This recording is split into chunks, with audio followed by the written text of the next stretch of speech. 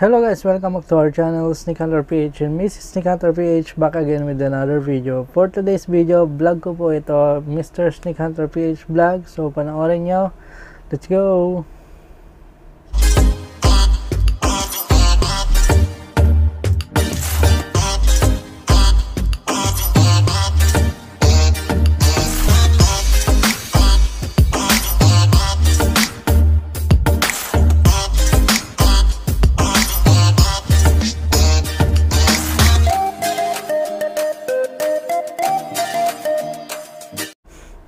And guys, we're back. So guys, by clicking this video, alam nyo naman siguro yung ating vlog. It's a Polo Choose vlog. Kung matagal ka na sa channel natin, siguro naman alam mo na kung paano ko siya nakukuha dito sa barko. Kung bago ka lang sa channel natin, I will tell you a little bit of history sa nag-iisang content sa YouTube na Polo Choose. So, yan, a uh, little bit of history lang. As you all know, I'm working on a cruise ship, uh, Norwegian Cruise Line. Then, meron kaming 5,000 guests every week na uh, nag stay dito and nagbabakasyon. And meron tayong 1,500 crew na nagwo-work. So, ang nangyayari niyan, syempre yung tourist natin or guest natin is uh, nagbabakasyon nga and bumibili ng maraming maraming souvenirs na pag uwi nila after one week ay siguro hindi kasya sa luggage nila or over luggage sila. And sometimes meron silang tinatapon ng mga sapatos. Uh, also sa crew ganun ang story. Siguro marami pinimiling pa sa lubong then hindi na magkasya yung sapatos nila so tinatapon na lang nila. And merong uh, in charge doon sa may garbage room na kasama namin as uh, engine.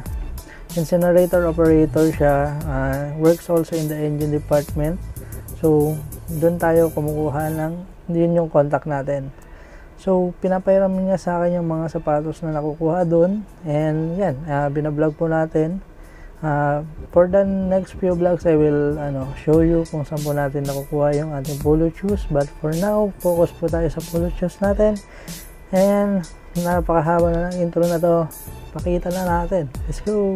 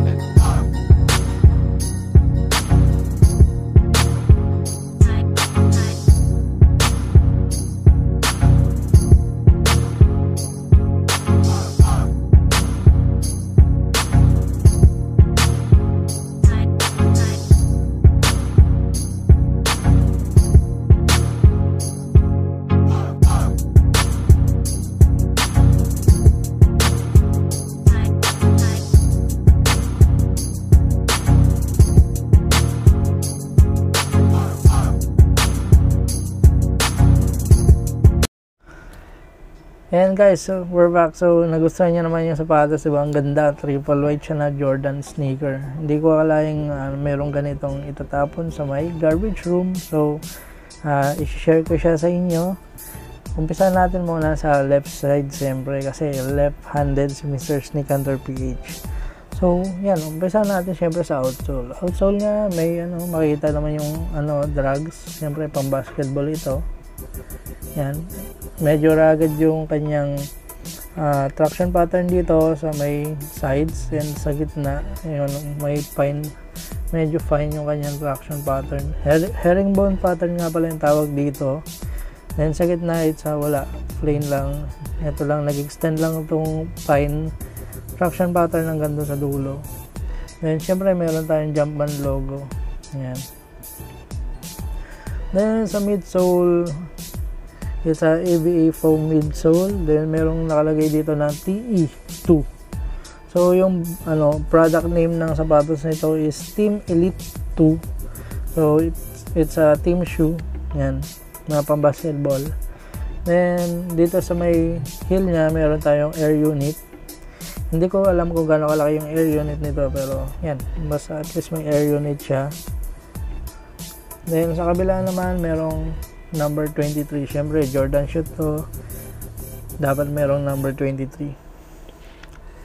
Then sa upper niya is synthetic leather upper. So, all around siya, synthetic leather upper siya. Meron Jumpman logo rito. Yun. Then sa kanyang tang, yan medyo medyo glossy siya tapos may nakasulat na Jordan. Yan. Nakasulat na Jordan tapos ano yung laces niya is uh, rope laces.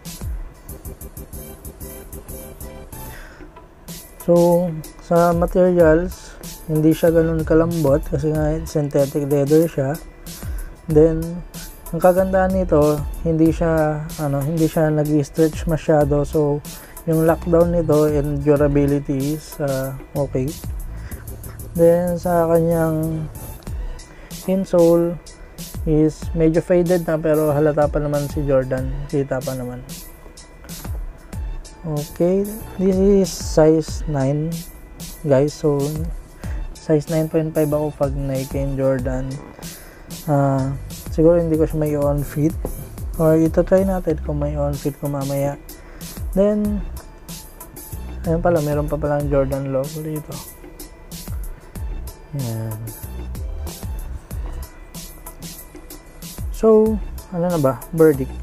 Uh, maghanap tayo ng reason bakit tinapon itong sapatos nito traction wala naman akong problema.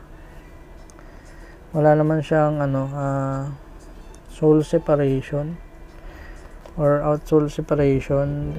Ma ano pa siya sturdy pa siya. Soul set. Okay ba? Hindi masyadong nag-stretch yung material so yan ang maganda maging durable to unlike yung mga knit natin na konting force or yung talagang kung talagang parang Russell Westbrook ka siguro maglaro hindi siya tatagal unlike this one wala siya masyadong give pero it will contain you better yan then sa upper sa upper is medyo marami lang yan, mayroong konting mga stain pero kayang kaya naman tanggalin to ni Mr. Clean Kick Shoe Cleaner eh. Mga stain na ganito. Then yan uh, as far as I can see very usable pa tong sapatos nito. Meron lang siyang ano dito yan.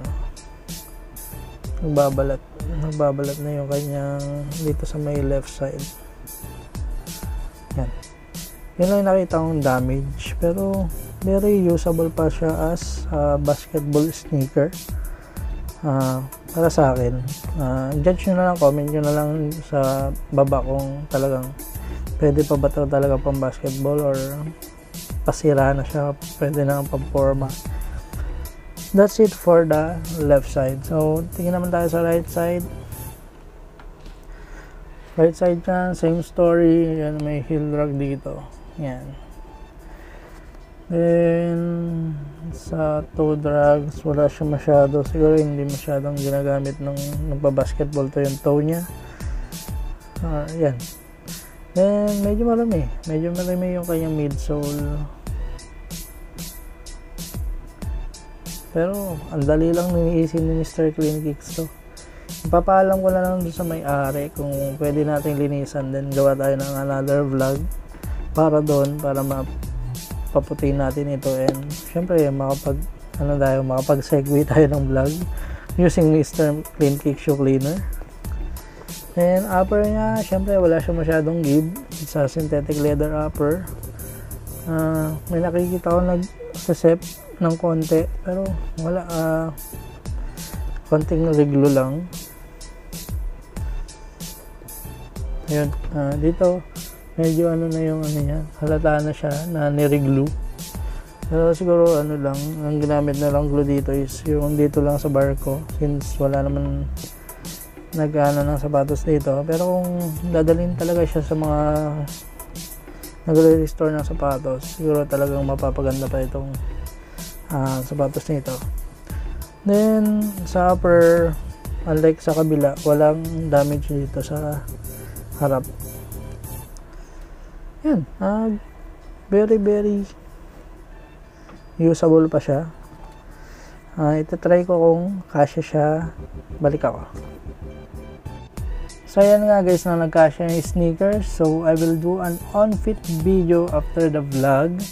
Then konting reminder lang, this video is brought to you by Mr. Clean Kick Shoe Cleaner.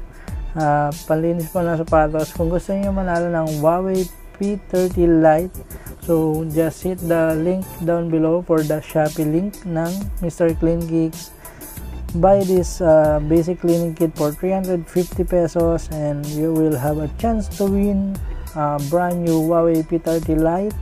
Sa December po yan i-draw. I hope ma-subscriber ko po yung manalo para po nakapag-giveaway ako para magkaroon kayo ng bagong phone. And another announcement kung bago ka lang dito sa channel ko 6,000 subscriber giveaway still ongoing. Follow the mechanics down below para maka-join kayo. Yan, uh, subscribe to my channel, hit the notification bell, like my Facebook page at SneakHunterPH, follow me on IG at SneakHunterPH, search for this post, comment hashtag NMD your size in US, tag 3 to 5 friends para maka-join kayo and para ma-qualify kayo. Uh, so good luck po. I will uh, definitely send this shoe as soon as possible na pag na-draw na po natin yung 6,000 subscriber, papadala po yan kay Mrs. Nicander PH and marireceive nyo po agad. So yun nga guys, no, na, gusto niyo ba yung ating Pulot Shoes vlog? Alam ko ako lang yung nag-iisang naggagawa ng content na ganito. Siyempre, unique na unique yan. Siguro perks namin na working on a cruise ship, kaya tayo nagkakaroon ng ganitong content. Uh, disadvantage na rin na pag-work ko rito hindi ako masyadong makalabas. So as of now hindi pa rin ako nakakalabas. Hindi pa tayo nakagawa ng vlog sa labas. So one month na po ako dito. Gusto ko lang lumabas.